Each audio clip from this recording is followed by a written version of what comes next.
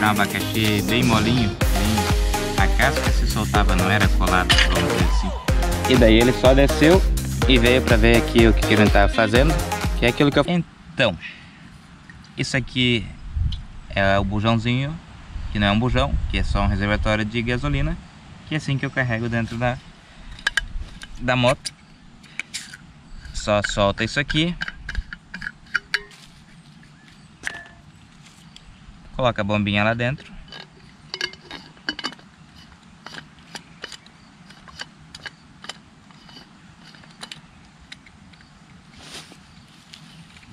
E dá-lhe bombear.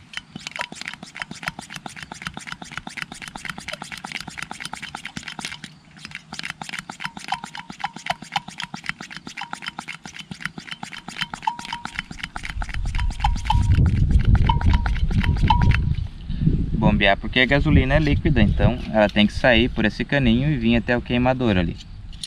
Isso aqui todo dia tem que abrir as perninhas dele.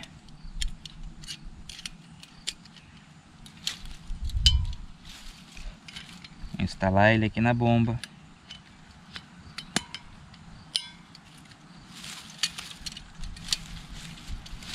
Beleza. Aí. Deixa correr um pouco de gasolina aqui. Tentar não colocar fogo nesse mato todo também.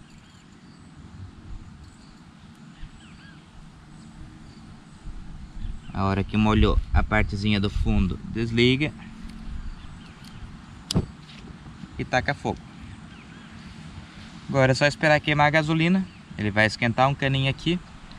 E depois que está quente o caninho, a gasolina passa já virando vapor e sai o foguinho azul bonitinho para não empretejar a panela. O fogo apagou. Abre de novo um pouquinho. Vai escutar que ela está fazendo um... E liga. E aí o fogo nem aparece no vídeo porque é azul. Uhum, mas põe um caminho. Pra quê? Pra provar que tem fogo? Ai, ah, tu acha que eles não vão acreditar? Em ti?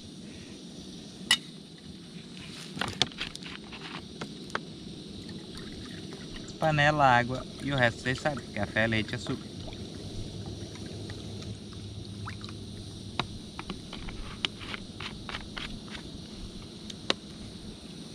E daí é só usar o banquinho e esperar.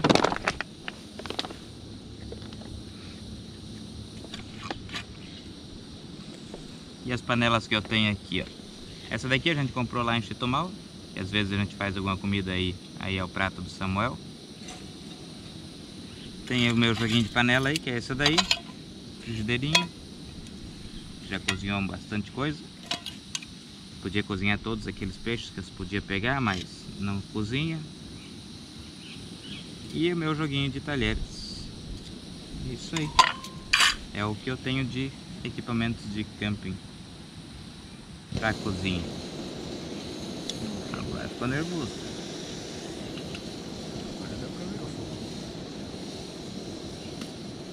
Daí você vê assim o meu fogareirinho aí, pensa, pô, com gasolina, legal, né? Vou comprar um igual do Alfredo. Tem uns baratinhos aí no Mercado Livre. Pra quem acompanhou a playlist de preparação lá, viu que eu comprei um BSR pelo Mercado Livre, mas que é o mesmo que vende na China e que é uma porcaria, porque ele entope o bico e daí não tem como limpar e aí você perde o fogareiro porque não tem peça de reposição para comprar. E ainda assim não é baratinho, ele custa 300 e poucos reais. Eu paguei no meu 300 usado, mas eles estavam querendo 450 na época lá. Custa 50 dólares na China. Esse daqui é um MSR. É um bem bem bem caro, mas muito bom. É tipo a GoPro dos dos carinhas aí dos fogareiros a gasolina. Porque ele tem o bico ali que é autolimpante, ele tem uma válvulazinha, tu chacoalha ele, ele já limpa o buraquinho. Difícil da manutenção. E quando der manutenção, você ainda consegue comprar as peças. Só que tudo isso tem um preço, né? Esse daqui é o modelo mais barato, se não me engano, no Brasil aí tá a partir de 600 e poucos reais. Isso serve para quem? Para quem acampa com muita frequência ou para quem vai acampar para lugares que é difícil de comprar aquele bujãozinho de gás para os fogareiros a gás. Quem vai acampar de férias aí, melhor comprar aquele kitzinho que tem no Mercado Livre lá, que é o fogareiro e três bujãozinhos, custa 120 reais. Dá para viagem, dá para umas duas, três viagens de um mês. Tranquilo. Explica aí, Samuel, como é que é de casca com abacaxi. Pega a faca assim, corta o fundo, mas corta o fundo pouquinho para economizar, né? Aqui já tá meio grosso. Putz, certo era raspar. Ah não, faz suco depois. E tem que comer os olhinhos também, né? Não pode tirar os olhinhos tudo fora. É, corta uma fatia. Aqui é azedo, aqui é doce. Então, corta uma fatia.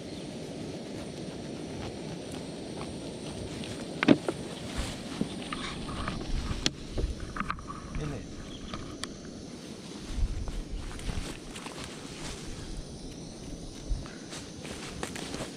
Enquanto Samuel corta ali, fazendo café, porque a água já ferveu.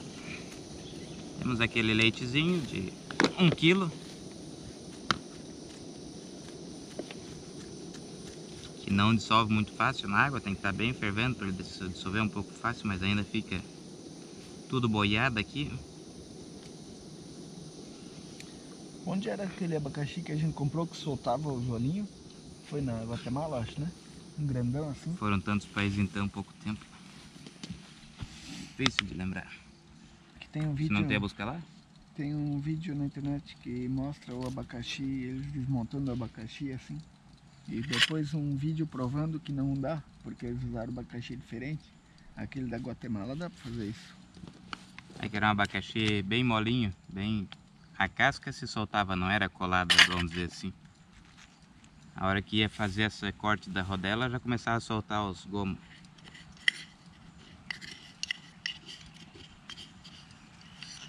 E esse é o nosso último café com caramelo. Que dó. Que depois não vai ter mais. Último pote, né? É. Esse pote ainda dá pra chegar no Panamá. A gente vai ficar um tempinho editando uns vídeos lá. E daí acho que ele vai acabar por lá pelo Panamá mesmo.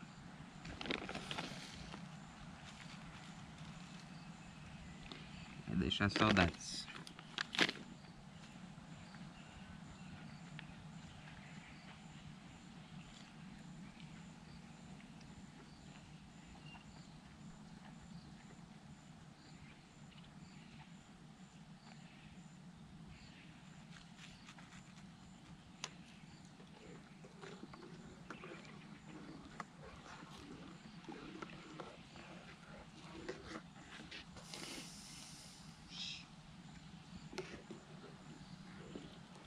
Cheio demais.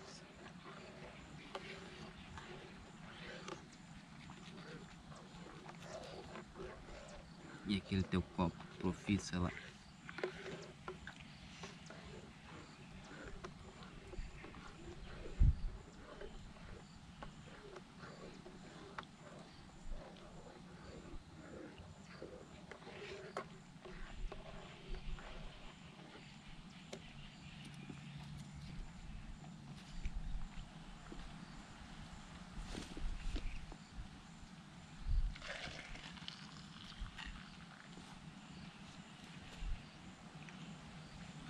E agora é só esperar esfriar, porque eu não sou desses café pelando, nem chimarrão eu tomo. Pra quem é. Eu sou do sul, a galera acha que eu tomo chimarrão, não tomo chimarrão, não gosto de água pelando. Só pra tomar banho.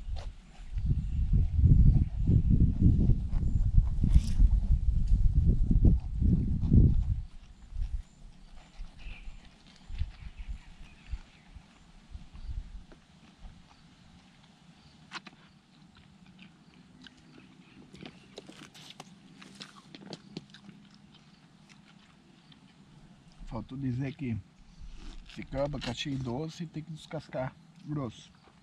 Pra tirar o azedo fora aqui. Se quer aproveitar bem o abacaxi, uma camadinha de azedo, descasca fino. É por isso que lá no, naquele cara dos tacos lá em, em Chetumal. Ele cortava as cascas bem grossonas. E o Samuel olhando lá. Ai que dó, que desperdício. O cara tirava toda, um centímetro de capa do, do abacaxi. Mas é que daí no taco ele picava aquilo lá pequenininho. E aí tinha o gosto aí, era o abacaxi da hora.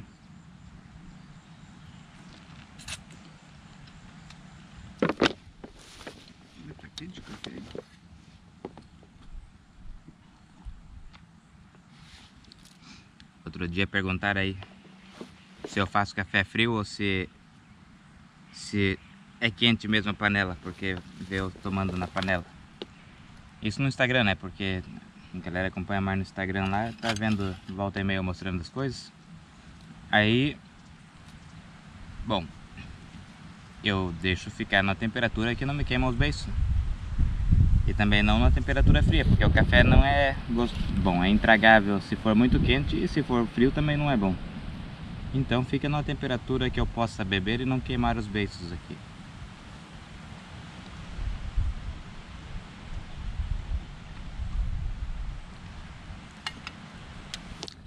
Ele veio aqui só para olhar mesmo.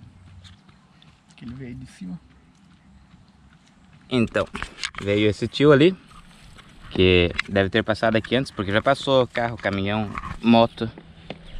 E daí ele só desceu e veio para ver aqui o que, a gente estava fazendo, que é aquilo que eu falei outro dia, ontem também. Porque se alguém pega a gente acampando aqui, em geral sem ter pulado uma cerca, sem ter feito nada de errado, sem ter estar estragando o meio que tu tá acampando, a pessoa vai perguntar o que tá fazendo aí, de onde vem, para onde vai, aquelas perguntas de sempre. E pronto, foi isso. O cara desceu de lá, veio cá, conversou com a gente, voltou. Também não falou quem ele era, se ele era o dono, se ele era o capataz, se ele, o que, que ele era dessa, desse terreno aqui, mas veio por curiosidade. Queria saber quanto valia as barracas. A do Samuel acho que não vale nada. A minha que vale. A minha, se bobear, deve valer uns 10 reais ainda. Que ele gostou da ideia. Que Queria saber quanto custava para dormir por aí em qualquer lugar. Acho que é só, só papinho, né? Mas tá tudo certo. Terminar o café agora e daí vamos para a estrada aí. Que a ideia hoje é andar 410 quilômetros até o Oceano Atlântico na cidade de Limão, na Costa Rica. E lá a gente acampa na praia. Hoje a gente chega lá. De dia ou de noite. Não, não vai ter choro.